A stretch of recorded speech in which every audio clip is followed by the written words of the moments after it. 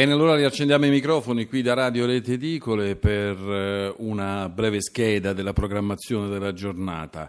Dunque, alle 10.40, come vi abbiamo annunciato nel notiziario, avremo una intervista, l'intervista a Susanna Camusso fatta a, eh, da, mm, rilanciata da Radio Articolo 1 e fatta a Radio Anch'io eh, ieri mattina. È un'intervista interessante perché sostanzialmente eh, cerca con degli argomenti sostanziali eh, di spiegare qual è il vero stato del confronto sulle pensioni eh, che molti giornali ieri hanno dato quasi per fatto, insomma un accordo quasi per fatto. La CGL dice no, ci sono ancora tanti nodi da sciogliere. Sentiremo appunto da Susanna Camusso di che cosa si tratta. Poi alle 11 avremo lo spazio dedicato al Sinaggi. Oggi avremo con noi Raniero Casini del eh, Sinaggi di Firenze con il quale ragioneremo appunto di vendite dei giornali, dei periodici in edicola, in particolare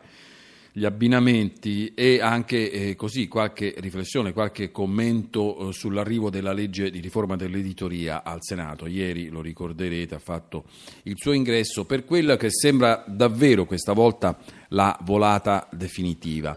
Poi avremo una piccola sorpresa dopo Raniero eh, Casini, vedremo se ci sarà tempo, Raniero è uno abbastanza sintetico, ma insomma se ci sarà tempo eh, oggi proveremo a parlare di una cosa un po' diversa, ma non così lontana eh, dall'attività eh, degli edicolanti e cercheremo appunto eh, di capire come si può dare un po' più eh, di spinta al nostro eh, palinsesto che piano piano sta eh, prendendo quota. Ieri abbiamo sentito il segretario Marchica, abbiamo eh, sentito le parole che ha usato nei confronti dei sondaggi, che sarà la prima iniziativa che implementeremo subito eh, in questo mese eh, di settembre, quindi prima della fine di settembre sicuramente partiremo eh, con i sondaggi. Sarà un modo per far parlare di radio, rete edicole. E, e, invece per questa sorpresa intorno alle 11.30 vedremo eh, Raniero quanti, eh, quanti, minuti si prenderà, è programmata intorno alle 11.30, per questa sorpresa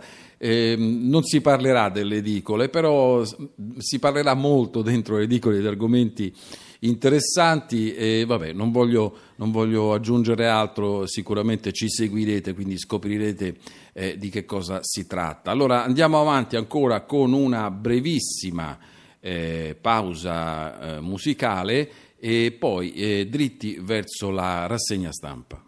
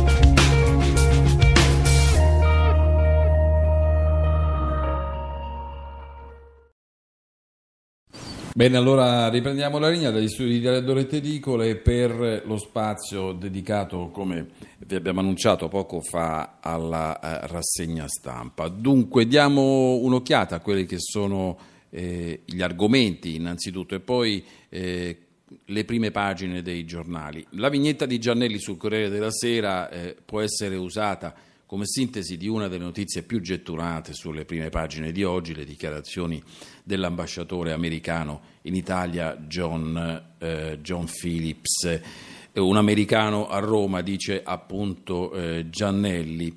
E le dichiarazioni eh, di Phillips si schierano apertamente per il sì al referendum costituzionale e ha detto che in caso di vittoria dei no si metterebbe a rischio gli investimenti del nostro paese. Giannelli sintetizza così con un ambasciatore nelle vesti di Alberto Sordi, un americano a Roma, mai provocato, mo te distruggo, è questa la battuta eh, abbastanza prevedibile per certi aspetti eh, di eh, Giannelli, è il suo stile, ma molto molto efficace. Eh, l'ambasciatore Sordi appunto arrotola uno spaghetto a forma di no sulle dichiarazioni di Philips eh, sono decine i commenti su tutti i giornali, oltre a commentare le dichiarazioni dell'ambasciatore, i giornali vanno alla ricerca dei retroscena politici sullo scacchiere italiano, a partire dalle polemiche sulla GAF eh, di Di Maio. A proposito appunto del Venezuela, del Cile, insomma, non, eh, eh dalle parole di Di Maio eh, non si capisce eh, bene eh, poi appunto Pinochet a quale nazione appartenesse. Molto dure reazioni della minoranza del PD, sempre più vicina al no su Repubblica, parla Pierluigi Bersani, intrusione incredibile tra me e Renzi, idee opposte sulla democrazia. L'intervento dell'ambasciatore Philips, dice Bersani, è una roba da non credere, ma per chi eh, ci prendono? Eh, sul messaggero che apre con il titolo Referendum il si usa è un caso, firma l'editoriale Alessandro Campi. Timore dall'estero, l'impatto di un voto sul paese instabile, è questo il titolo.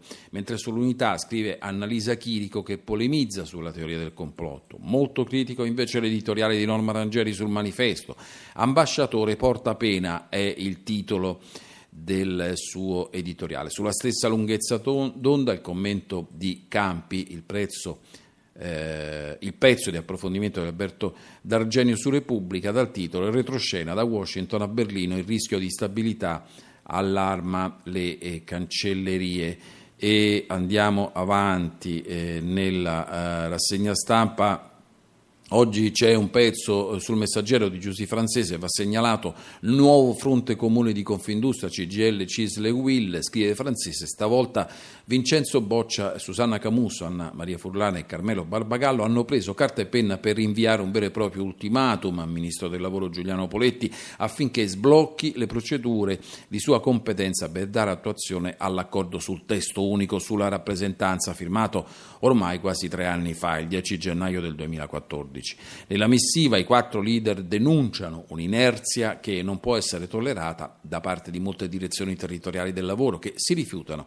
di avviare le attività indispensabili per dare seguito a una parte essenziale dell'accordo, il conteggio dei voti espressi nelle elezioni delle rappresentanze sindacali aziendali.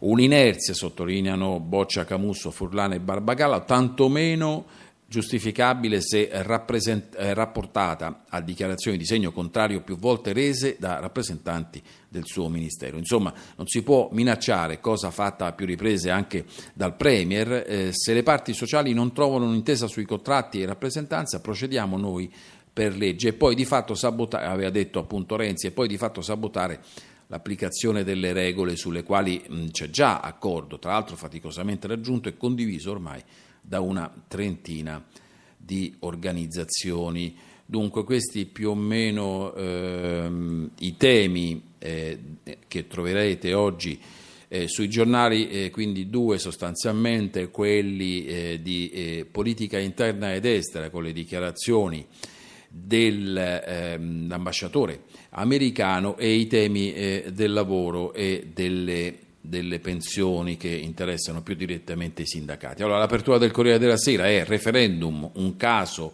il sì americano, la Repubblica, gli USA correnzi, sì al referendum esplode lo scontro. E poi una curiosità, l'ultimo colpo degli hacker russi, le stelle americane dopate a Rio, una fotonotizia decontestualizzata eh, che ricorda appunto eh, le Olimpiadi di Rio. Eh, c'è un interessante approfondimento, anzi una vera e propria inchiesta di Bonini su Repubblica che accentra, eh, centra la sua attenzione su Muraro, l'assessore al Comune di Roma, molto, eh, molto discussa in questi giorni. Muraro, una carriera, tanti conflitti di interesse, un titolo abbastanza rivelatore questo di Bonini.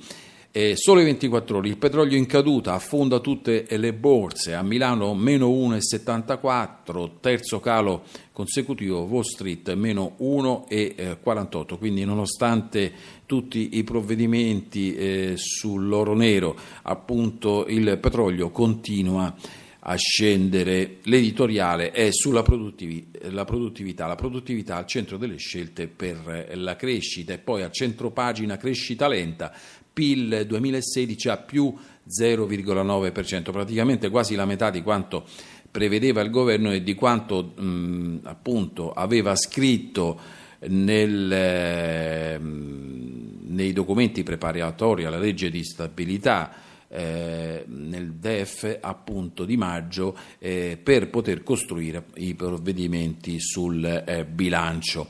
La stampa, referendum, il sì americano diventa un caso, effetto Champson, una grande fotonotizia a centropagina la rivoluzione del tifo, scrive